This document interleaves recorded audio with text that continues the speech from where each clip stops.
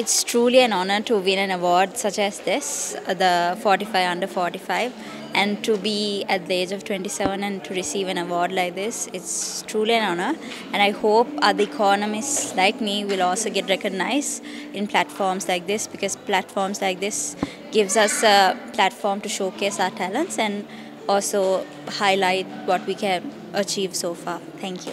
Imesha Dissanayake from the Ceylon Chamber of Commerce.